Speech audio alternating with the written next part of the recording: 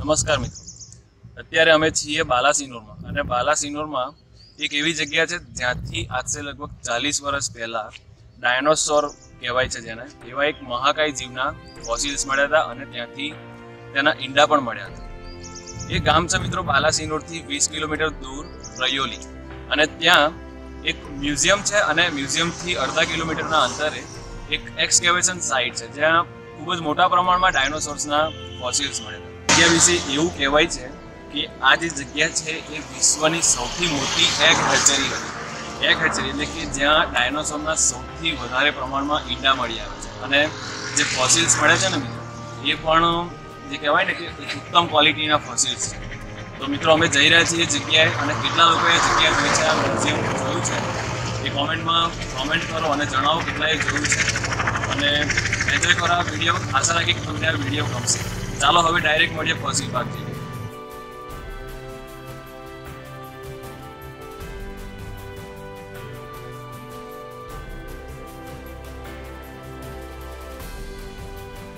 આણંદથી નેવું kilometre drive કરીને આજે અમે પહોંચ્યા છીએ બાલાસી ડાયનોસોર મ્યુઝિયમ અને ફોસિલ પાર્ક અને અત્યારે અમે છીએ મ્યુઝિયમના એન્ટ્રી ગેટ પર.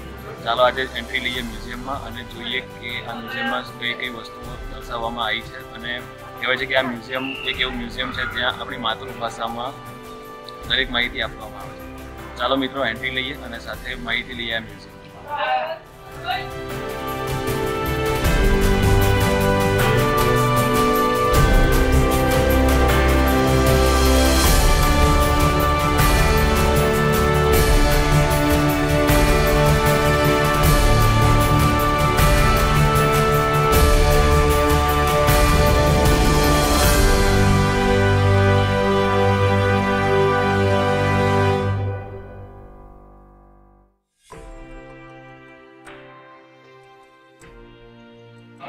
સૌથી પહેલાં તો જ્યારે આપણે મ્યુઝિયમે એન્ટ્રી લઈએ ને મિત્રો, તો ચારે બાજુ ગ્રીન કલરના જે આર્ટિફિશિયલ છોડ લગાવેલા છે તે ખૂબ જ આકર્ષક લાગે છે.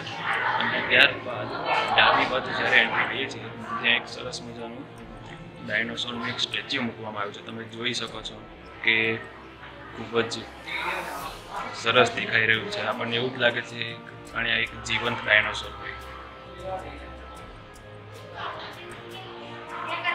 ત્યારબાદ એની બાજુમાં આપણને એક લેઆઉટ આપે છે, પૂરા મ્યુઝિયમમાં કયા ફ્લોર પર કઈ વસ્તુ છે તથા કયા રૂમમાં કઈ કઈ વસ્તુ પ્રદર્શિત કરવામાં આવી છે. તો મિત્રો, અહીંયા આવ્યા પછી આપણને ફિલ્મ બતાવવામાં આવે છે કે ડાયનોસોર્સનો ઉદ્ભવ કઈ રીતે તથા તેમનો અંત કઈ રીતે. દરેક વસ્તુઓ જે ફિલ્મમાં બતાવવામાં આવે છે તમામ વસ્તુઓ આપણી માતૃભાષામાં છે. એટલે આ જોવાની મજા તો કંઈક અલગ જ આવે ચાલો નિહાળીએ થોડા અંશો આપીએ.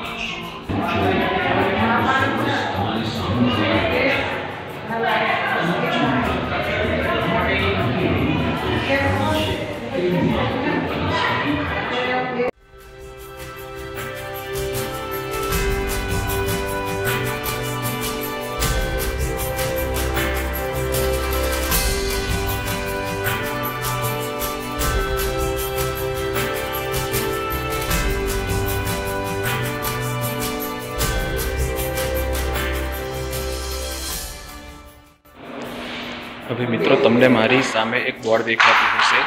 ત્યાં તમે જોઈ શકો છો કે ત્રણ અલગ અલગ યુગના નામ લખેલા છે અને સામે તમને એક સફેદ કલરનો ગોળાકાર સ્ક્રીન પણ દેખાય છે. હવે આ જે પદ્ધતિ છે ને, એ ખૂબ જ અનેરી છે.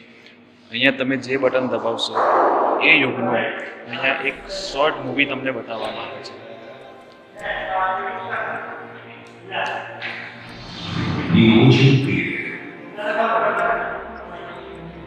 Bir de şaşkın rotin çıkmaz Bütün itirazlar sinüzün günahına karşı minnetçi bir kanıyor. Bir bağlamda bunun istediği bir kadarman cemin olacağına mümkünlü ilk bir yazarda yapılan bir şey vardır. Mağdur, spesso vicine pranzate o di Catania, diciamo che prima le cagavate la miscelare.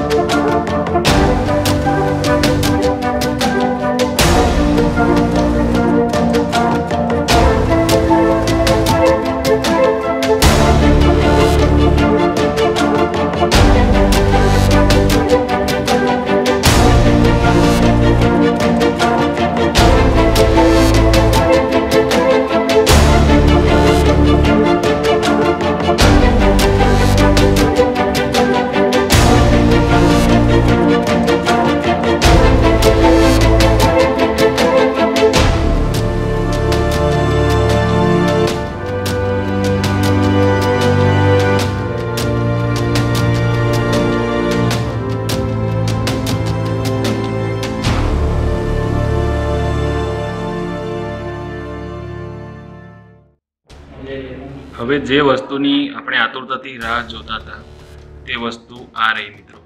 ડાયનોસોરના actual ઈંડા. તમે જોઈ શકો છો કે પથ્થરની અંદર તમને સફેદ કલરની જે આકૃતિઓ દેખાય છે ને, એ છે ડાયનોસોરના પાર્શિયલ એગ્સ અહીંયા ઉપર તમે લખેલું પણ વાંચી શકો છો partial eggs of abelisaurid theropod location લાવરિયા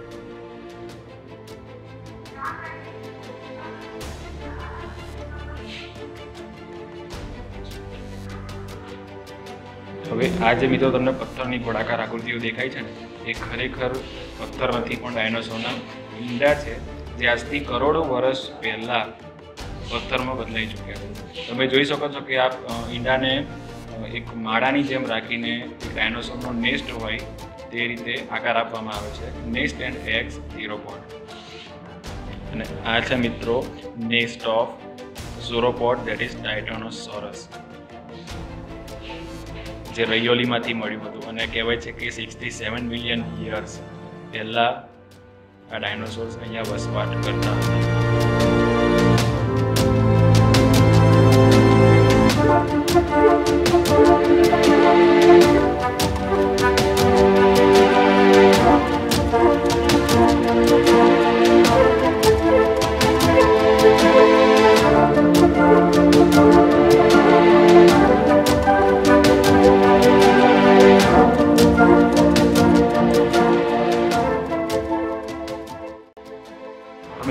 લાગ્યો તમને વીડિયો જો વીડિયો ગમ્યો હોય તો લાઈક કરો શેર કરો કમેન્ટ કરો અને ભૂલતા નહીં તો ઇન્ફિનિટી ચેનલ ગુજરાતને સબસ્ક્રાઇબ કરવાનું અને મિત્રો, આ તો હતો બાલાસિનોર ફોસિલ પાર્કનો પાર્ટ વન હજુ પાર્ટ ટુ આવી રહ્યો છે અને તેમાં તો અમે તમને લાઈવ ફોસિલ્સ બતાવીશું કે જે પથ્થરોમાંથી ફોસિલ્સ મળ્યા હતા ને, એ પથ્થરો આજે પણ ત્યાં હયાત છે.